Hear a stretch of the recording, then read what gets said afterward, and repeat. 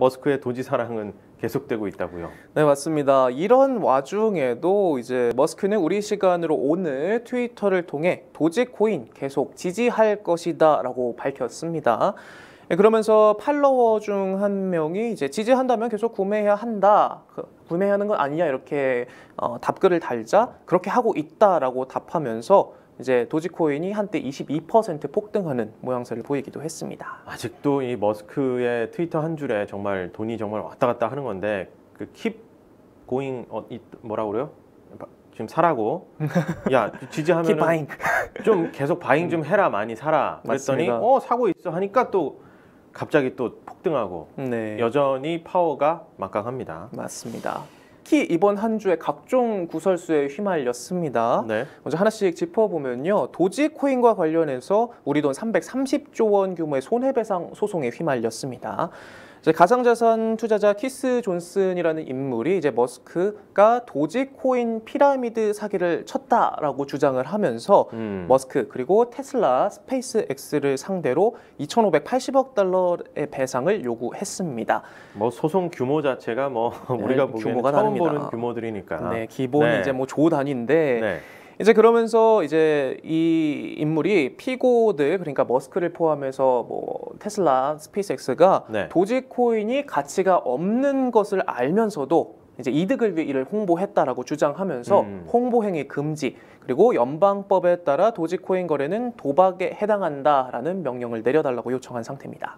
연준의 움직임에 따라서 이제 증시뿐만 아니라 비트코인이 그야말로 크게 진짜 요동치고 있잖아요. 맞습니다. 네.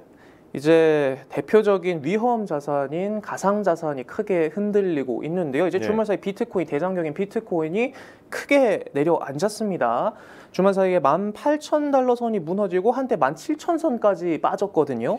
이게 이제 2020년 11월 이후 처음인데 네. 우리가 흔히 이제 심리적 지지선이라고 말하는 2만 달러 선이 무너지면서 이제 투매 물량이 쏟아진 것으로 보입니다. 에, 그나마 다행인 것은 이제 오늘 오전 7시 기준 2만 달러대를 간신히 회복을 했거든요. 그래서 이제 지난해 고점 대비 75%가 넘는 폭락세를 보였는데 비트코인뿐만이 아니라 이제 2위인 이더리움도 주말할 때 심리적 지지선인 1000달러가 무너졌다가 간신히 회복하는 모양새를 보였습니다. 그래서 네. 여기에 대해서 이제 외신들도 어, 굉장히 강경한 어, 워딩들을 했어요. CNBC 같은 경우에는 시장 대학살이라는 제목의 기사를 내기도 했고요. 블룸버그는 비트코인 기록적 괴멸이다. 라는 기사를 내기도 했습니다. 아 이게 뭐 괴멸, 학살 너무 좀 무시무시한 단어들이 등장할 정도로 경제 상황이 안 좋다는 얘기를 하고 있는 건데 어, 이 가상자산이 좀처럼 힘을 쓰지 못하고 있는 부분은 좀 계속해서 관찰이 되고 있는데 뭐 취약한 부분들이 뭐 많이 있겠지만 주요 원인이 뭘까요?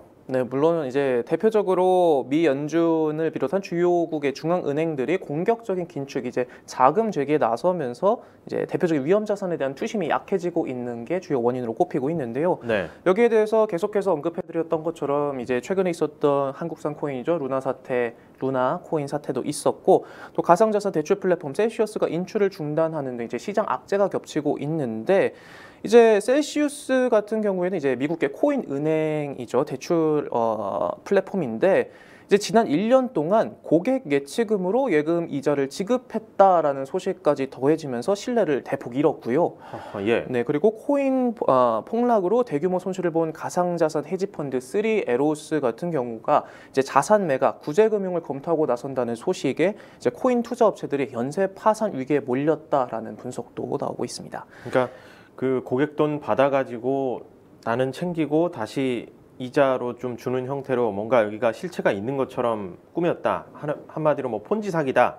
이런 정도까지 이제 신뢰가 바닥으로 치고 있으니까. 네, 맞습니다. 그 지금 이 비트코인이나 이더리움 그렇게 신뢰가 어느 정도 가상 자산계에서는 있었던 그 상품마저도 지금 폭락을 면치 못하고 있는 거네요. 패닉이네요 말 그대로 진짜. 맞습니다. 소비자들의 지갑은 닫히고 있고 또 시장 한쪽에서는 흔들리고 있고 이게 겨박제가 음. 계속되고 있는데요. 예. 이제 여기에 대해서 이제 로이터 통신은 이제 비트코인, 뭐 이더리움 같은 우리가 잘 알고 있는 가상 자산의 변동성이 커지면서 이제 그동안 안전처로 안전한 피난처로 여겨져왔던 stable coin 그러니까 달러와 가치와 연동되는 코인이죠. 이 stable coin도 휘청이고 있다라는 음. 기사를 냈어요. 그래서 이제 5월 초 시가총액을 보면 234조 원 규모였는데 이달에 202조 원으로 크게 감소했습니다. 불과 한 달 새 30조 원이 넘는 돈이 빠져나갔어요. 네. 그러면서 이제 달러 가치 연동이 끊기는 depegging 빈도도 더욱 커지고 있다라는 분석을 내놨습니다. 이제 지금 뭐 stable이라는 단어를 믿는 분들이 많이 없으실 것 같아요. 네. 자, 업계에서는 어떤 전망을 또 내놓고 있습니까? 네, 먼저 블룸버그 인텔리전스에 따르면 이제 과거에도 이런 현상이 나타났다라고 하면서 2만 달러 언저리에서 가격 기반이 다져질 것이다라고 내다봤고요. 음. 이제 인프라스트럭처 캐피털의 제이 해필드 최고 투자 책임자는 이제 비트코인 2만 달러 지지선이 무너지면서 더 많은 margin call 강제 청산이 초래될 것이다라는 분석을 내놓으면서 올해 만 달러 밑으로 떨어질 것으로 예상 했습니다. 또이 전망도 극과 극으로 나뉩니다. 2만 달러 있는 데서 뭐 어느 정도 지지가 되고 이게 바닥이다 하는 사람도 있고 더 떨어질 네. 것이다 하는 그러니까 전문가들 사이에서도 이제 의견이 엇갈리고 있는데 이제 경기 침체 이 공포 정말 공포라는 말이 어울릴 정도로 어, 지금 패닉 상황인데 뭐 증시부터 가상자산까지 그야말로 먹구름입니다.